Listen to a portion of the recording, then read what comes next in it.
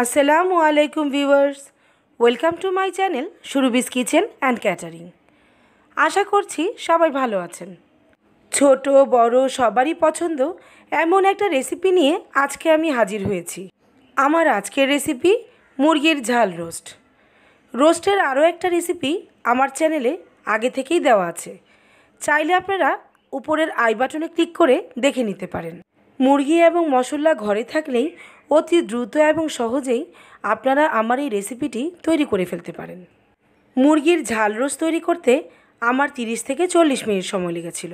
তাই হঠাৎ কোনো মেহমান চলে আসলে অথবা নিজেদের জন্য মজাদার কোনো রেসিপি তৈরি করতে চাইলে আমার এই চিকেন ঝাল রোস্ট রান্না করে সবাইকে চমক লাগিয়ে দিতে পারেন।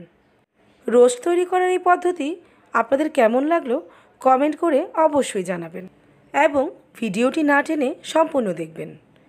তো চলুন ভিউয়ার্স মুরগির ঝাল রোজ তৈরি করতে চলে যাই।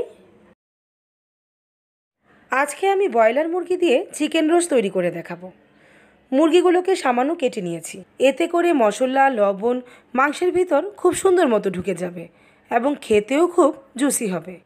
এখন আমি মাংসের টুকরোগুলোকে হাফ চা চামচ লবণ এবং হাফ চা চামচ মরিচের গুঁড়ো দিয়ে ভালো মতো মেখে নেব। মাখানোর কাজটা হাত দিয়ে করারই চেষ্টা করবেন। আজকে আমি দেড় কেজি ওজনের একটা ব্রয়লার মুরগি নিয়েছি। দেখে নিশ্চয়ই বুঝতে পারছেন। মুরগির এপিট উপিট খুব ভালো মতো লবণ মরিচ মেখে নিচ্ছি। ভালো মতো মুরগি মাখানো হয়ে গেলে অপেক্ষা করার কোনো দরকার নেই।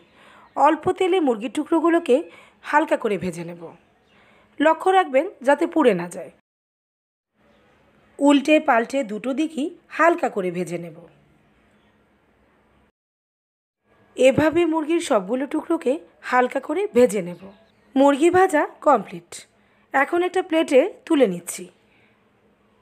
রোস্ট রান্না করার ফাইনাল স্টেপে চলে এসেছি। সেজন্য একটা পাত্রে আমি দেড় কাপ তেল নিয়ে নিয়েছি। তেল সামান্য গরম হয়ে গেলে প্রথমেই দিয়ে দিচ্ছি দুটি তেজপাতা। দিয়ে দিচ্ছি দুই টেবিল চামচ পেঁয়াজ কুচি। পেঁয়াজগুলোকে সামান্য বাদামি রঙের করে ভেজে নেব। ভিউয়ার্স আপনাদের সুবিধার্থে আমি ক্যাটারিং সার্ভিস চালু করেছি। আমার ক্যাটারিং সার্ভিসের ডিটেলস ডিসক্রিপশন বক্সে দেওয়া আছে এবং ফোন নাম্বার দেওয়া আছে। চাইলে আপনারা আমার সাথে কন্ট্যাক্ট করতে পারেন। আপনাদেরকে আরও জানিয়ে দিচ্ছি, আমি কোনো খোলা মশলা ব্যবহার করি না এবং ফ্রোজেন কোনো খাবার ডেলিভারি করি না।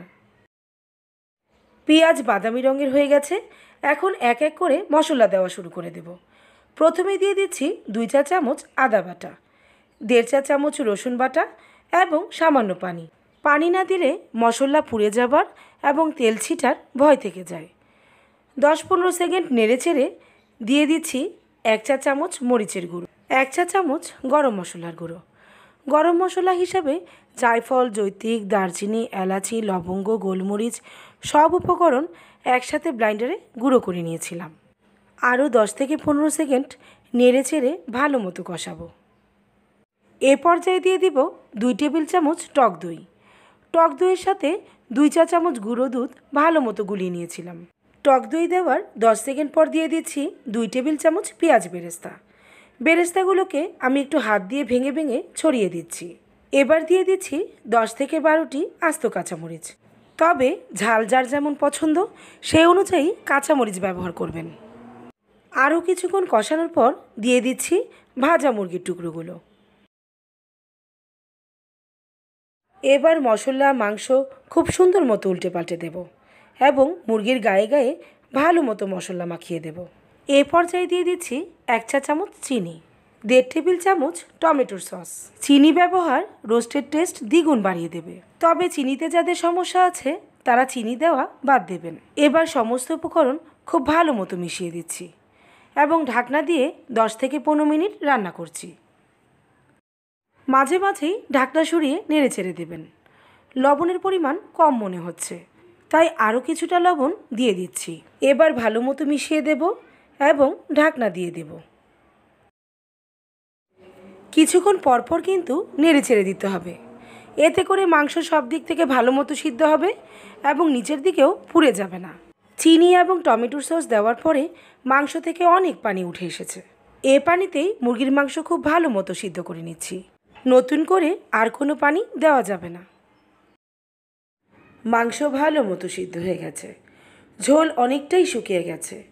এ পর্যায়ে দিয়ে দিচ্ছি এক চা চামচ মাওয়া। কাটার দিয়ে মাওয়া গুঁড়ো করে নিয়েছিলাম।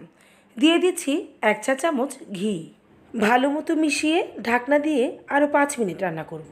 ভিউয়ার্স, আরেকটা বিষয় আপনাদেরকে দেখানো হয়নি। চিনি এবং টমেটো সস দেওয়ার পরে কিশমিশ কাঠবাদাম বাদাম একত্রে গুঁড়ো করে সেখান থেকে আমি দুই চা চামচ ব্যবহার করেছিলাম। ফিরে আসলাম পাঁচ মিনিট পর। মাংস খুব ভালো মতো সিদ্ধ হয়ে গেছে এবং ঝোলও আমার পছন্দ অনুযায়ী ঘন হয়ে গেছে। এখন একটা বাটিতে তুলে গরম গরম পরিবেশন করব।